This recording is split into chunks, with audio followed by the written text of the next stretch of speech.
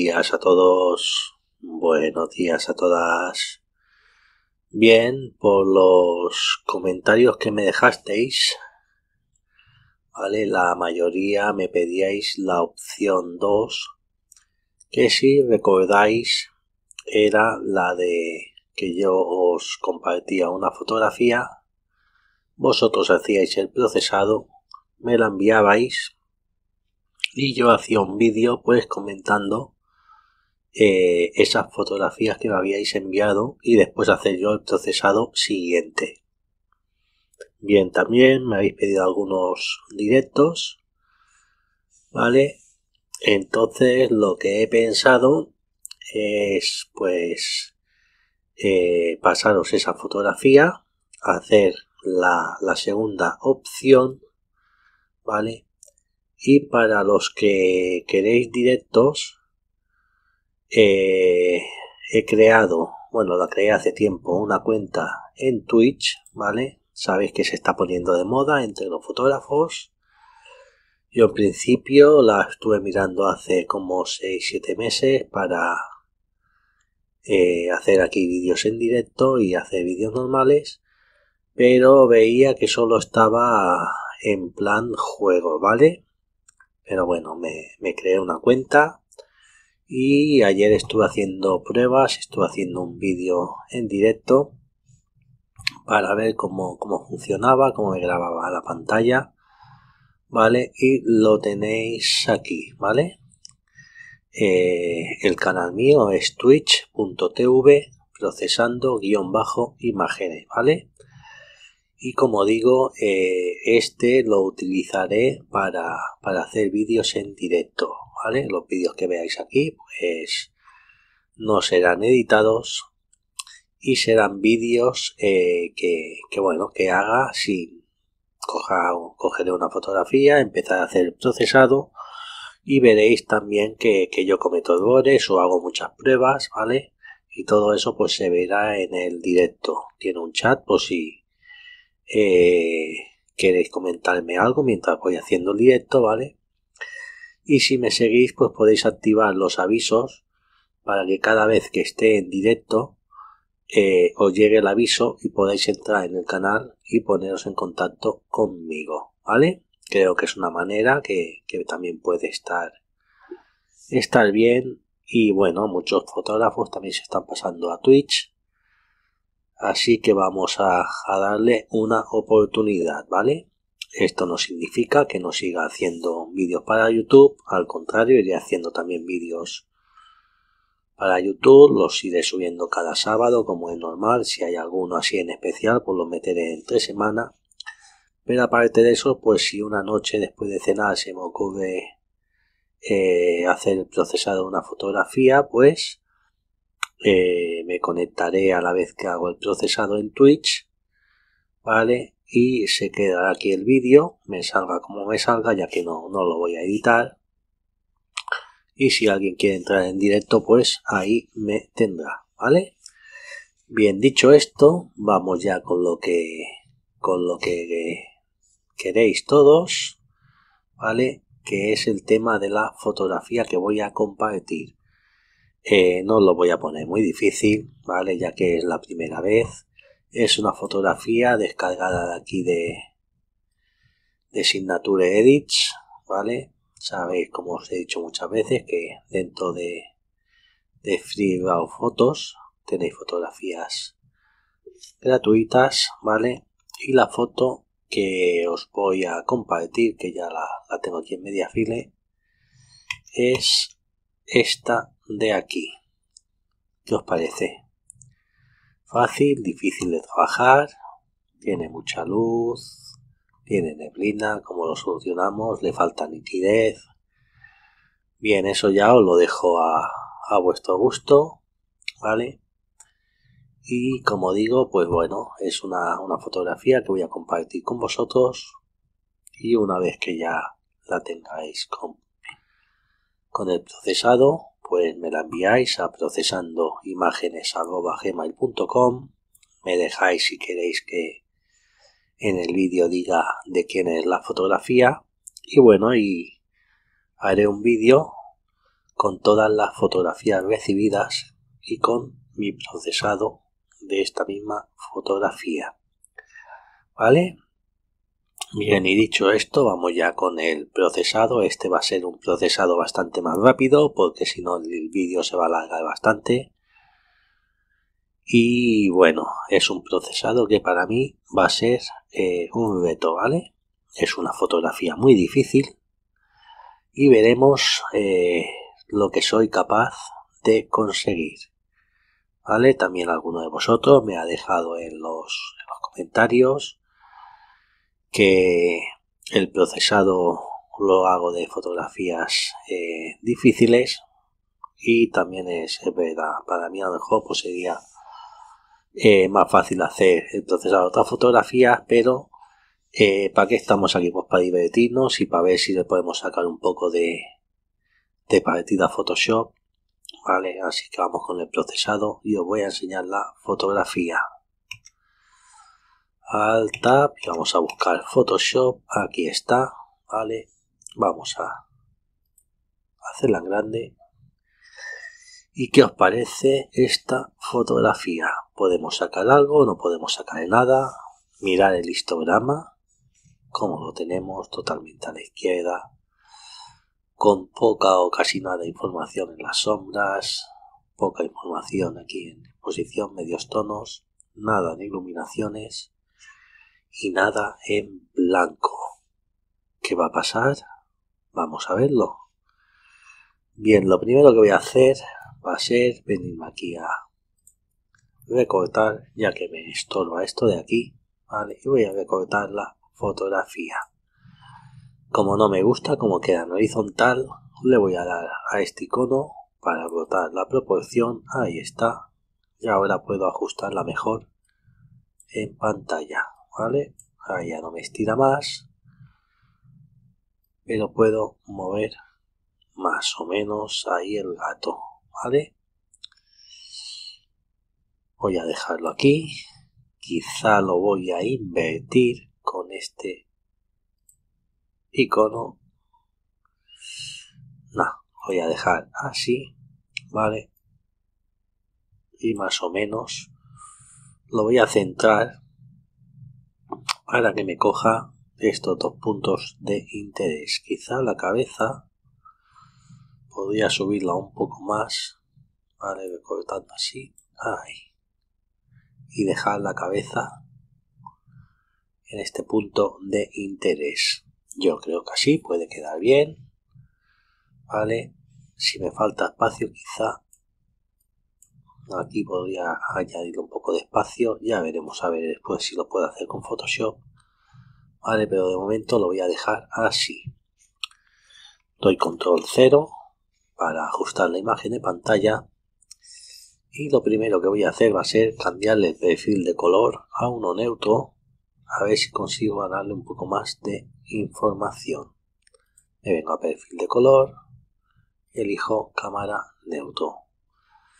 Bien, pues solo con esto, sin tocar ningún ajuste, fijaos cómo hemos ganado en la fotografía, ¿vale?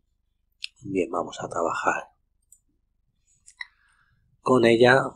Vamos a darle quizá una temperatura un poco más cálida, ahí está. Vale, incluso un poco más, ahí. Vale, me gusta cómo queda. Vamos a darle un pelín de contraste. Ahí estamos oscureciendo un poco la fotografía, no pasa nada. Vamos a subir un poco iluminaciones. Ahí está, quizá un pelín sombras. Ahí está. Y vamos a darle más detalle. Para eso agregamos textura, agregamos un poco de claridad y un poco de borrar neblina. Bien, fijaos con estos cuatro retoques, el antes y después, antes y después, como le hemos ganado ya algo a la fotografía. ¿Vale? Podríamos crear un filtro radial así más o menos ahí hasta más o menos la oreja y bajarle un pelín la saturación ya que me distrae un poco ese tono del fondo. Ahí está vale vamos a ver quitamos superponer y vemos el antes y después antes y después y fijaos cómo le hemos quitado saturación a esa zona. Bien vamos ahora a abrir la imagen en Photoshop vale bien pues ya tenemos la imagen abierta en Photoshop. Y lo primero que voy a hacer va a ser duplicar la capa. Voy a rasterizarla para dejar de ser objeto inteligente. Y lo primero que voy a hacer va a ser darle un pelín de neblina aquí al fondo para que no me distraiga, ¿vale? Como ya enseñé en el vídeo anterior, el tip este, ¿vale? Voy a ir a curvas, voy a subirlo y de aquí de los medios tonos bajo para abajo.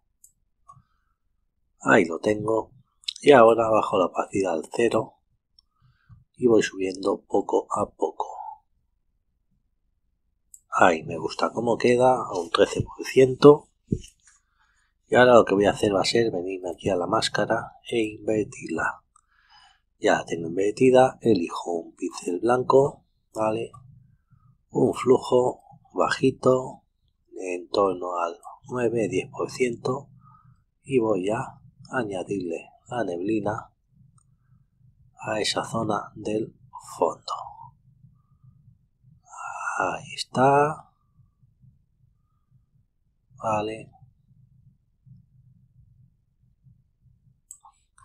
Y aunque parezca que no hemos hecho nada, podemos ver el antes y después. Antes y después. ¿Vale? Quizá aquí en las esquinas vamos a darle más. Ahí está. Vale, y ahí lo tendríamos. Vamos a oscurecer un poco más esta parte del suelo. Y ahora nos venimos a curvas, bajamos un poco. Aquí está, vale. Volvemos a hacer clic en la máscara, la invertimos y con un flujo, esta vez también más bajo del 5%, vamos a darle a la zona que queramos oscurecer. A esta de aquí arriba, aunque tenemos la neblina, también la vamos a oscurecer un poco. Ahí está, como trabajamos con una opacidad baja, pues el efecto, ¿vale? Pues tampoco se nota mucho. Vamos a ver el antes y después, antes y después. Esta de aquí vamos a llamarle viñeteo y esta de aquí neblina vale Bien, ¿qué vamos a hacer ahora? Pues ahora vamos a darle un poco de luz al gato, ¿vale? Vamos a simular que la luz entra por aquí. Así que vamos a crear un filtro de curvas y vamos a subirlo. Ahí está.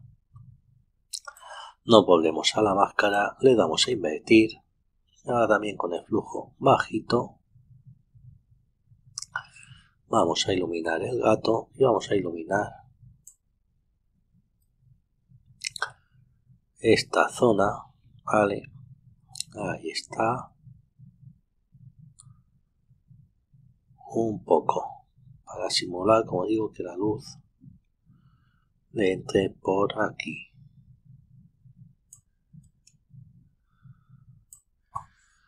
¿Vale? Bien, pues ahí me gusta cómo queda. Vale, vamos a ver el antes y después quizá aquí un poco por encima ahí vale vamos a ver el antes y después antes y después. Quizá aquí un poco.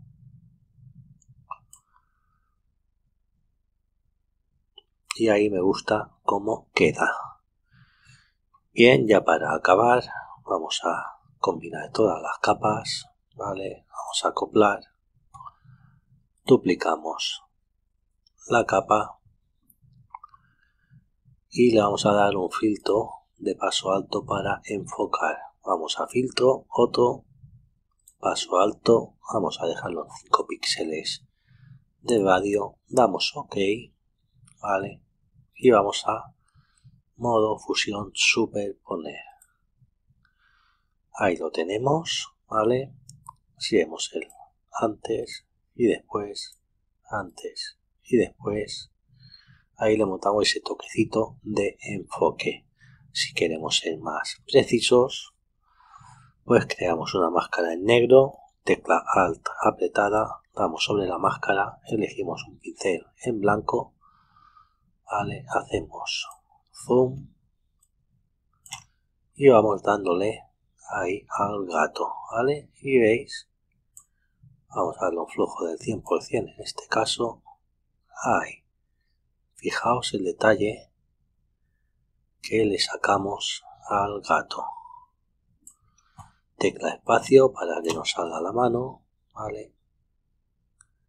Y ahí estaría.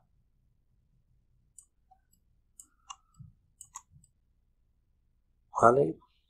Ahí está encajamos en pantalla y fijaos de una imagen que teníamos totalmente oscura sin apenas información